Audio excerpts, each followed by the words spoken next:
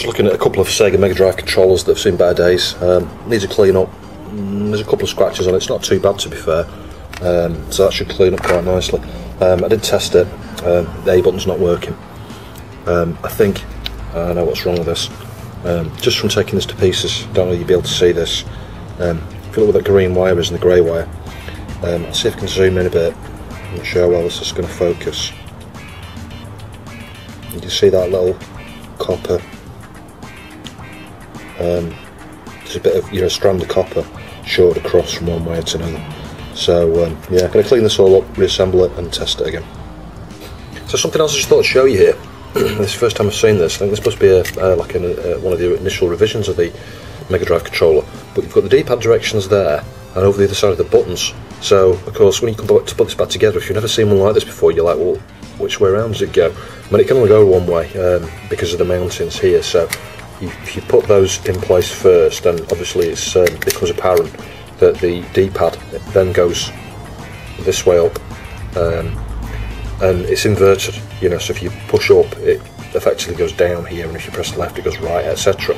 Um, via this little hub thing here. So it's interesting, but that's the first time I've ever seen that.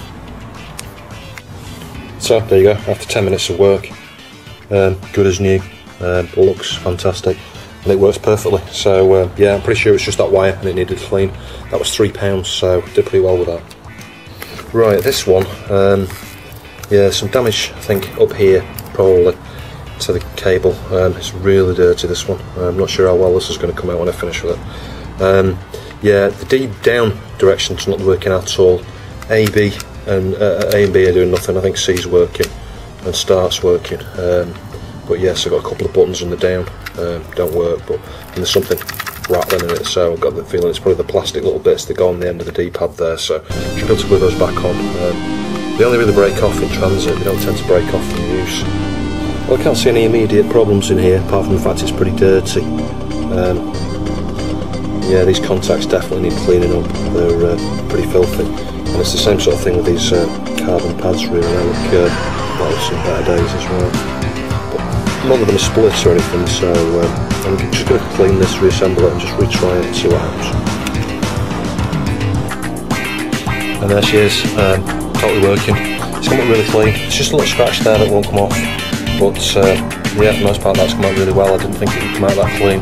Um, and obviously it's fully functional. I didn't need to do anything other than set it apart, clean it, uh, and reassemble it.